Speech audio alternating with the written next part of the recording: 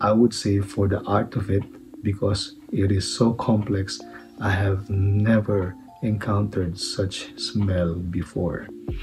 And it was strong, very strong, and then it transforms, transforms, it becomes playful, and over the dry down, it becomes heavenly. My name is Red, and I'm from Canada, and this is my channel. Let's do this. There are fragrances that I have discovered that are really playful, and that is just for the art of it. You may like it, you may not like it, even disgust the people around you. This perfume that I would uh, share for you today, a certain perfumer by the name of Marc Antoine Barrois with his perfume Ganymede. And Ganymede, as we know, is I think it is the largest moon in the planet Jupiter. Paris Corner Emir has created a certain uh, perfume, stunning bottle of Celestial. Okay. When I tried it on my skin, actually I'm gonna try it now and I will tell you what my impression is.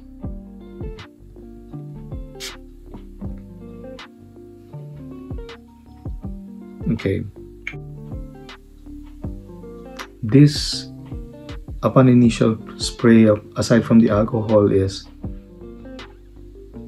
it's like the smell of the ocean or the smell of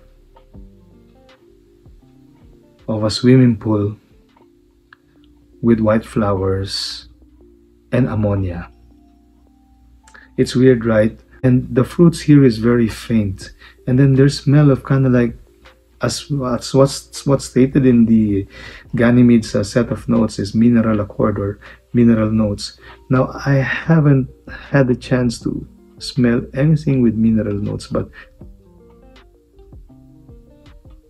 the way I can smell this is there's sourness and there's some uh, slight metallic note and also there's some aquatic uh, aquatic touch into this along with the florals. And also I noticed that there is some medicinal uh, accord you know the certain kind of medicinal approach that I was able to smell from Baccarat Rouge 540 but there's no brown sugar or there's no kind of like a sugar cane on this one. It's just the certain um, hospital smell just a little bit that reminds me of Baccarat Rouge 540 at the initial stage. And then it reminds me also of of gasoline. So this for me is an art. This fragrance for me is very playful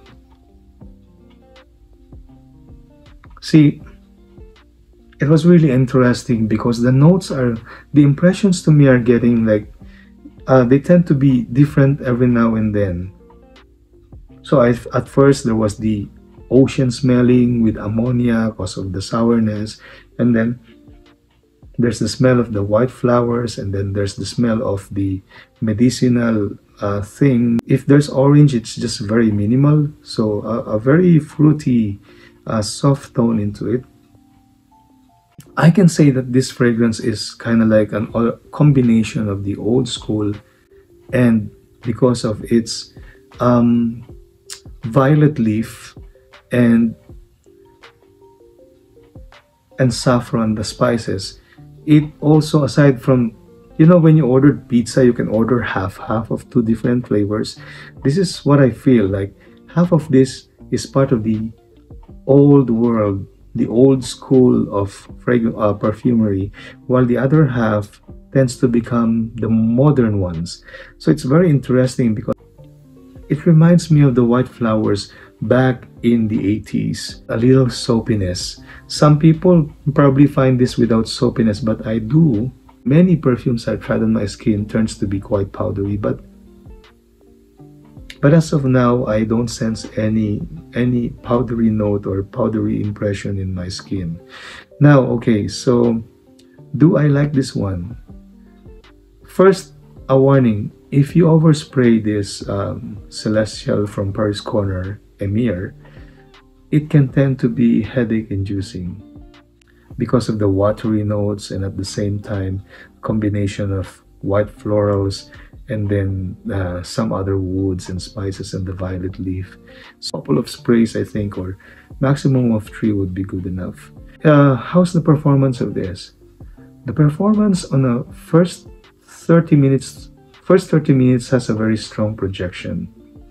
And then after that, the longevity lasted for like um, six hours, I think six hours to seven hours on my skin. What I learned is that you would experience the mid notes of uh, the fragrance when it lasted already for like uh, 15 to 20 minutes. So the dry down of this for me is very much appealing. All those white florals, all those um, um, kind of like uh, strong oceanic um, mineral metallic feel, all those like um, they they pulled back they pulled back and they changed into a very pleasant um, woody spicy aroma that I would say it can get you compliments as I got compliments on this a couple of hours after wearing it.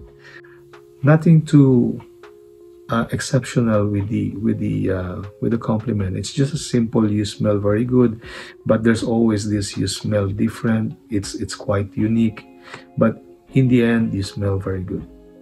Now, what is the best time to use this one? I wouldn't recommend you guys to use this at work. I wouldn't recommend this for indoor activity. I wouldn't recommend this. I wouldn't recommend this for casual. Um, I think I would just recommend this one on maybe on a date or if you have a casual activity on the outdoor because if you overspray this and you're just inside an activity indoors like weddings and stuff but you're inside the room if you overspray this this can induce headaches to people around you. It's interesting that i was uh, telling you the topic about the the art side and the complexities of fragrances.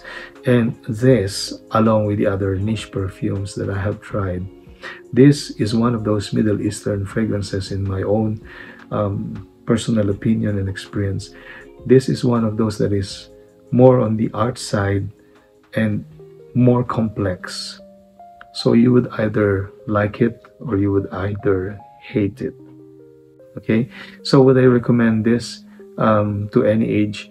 Uh, to my own nose experience, I think this is more for people above 30 years old um, men and women can try this one can can wear this one but this is not youthful. Like the age bracket should be like 30 years old and above. Okay? So guys this emir celestial from the house of paris corner if you're looking for something that is more on the art side but with a lovely dry down but you have the patience to to forbear the top or the middle, get this one. But if you are more on like used to wearing um, fresh, clean, sweet, um, some light florals, I don't think you would appreciate this because of its metallic aspect, because of this uh, medicinal aspect that I have observed, because of the different performance of violet leaf and saffron and I don't smell leather on this one I don't smell apple. And all I can smell on this one is the beautiful art of perfumery oceanic mineral notes going to a little medicinal like a Baccarat Rouge 540 then a mix of different flowers then kind of like a uh, an adventure of the old perfumery mixed with the modern perfumery. And by the dry down is a lovely woody spicy concoction that is really very complimenting. So thank you so much for tuning into my channel. Please, if you have enjoyed my uh, thoughts on on uh, Celestial by Emir Paris Corner, please um, at the lower right hand portion of your full screen, you would see my subscribe button. This is my YouTube channel. Let's do this. Cheers.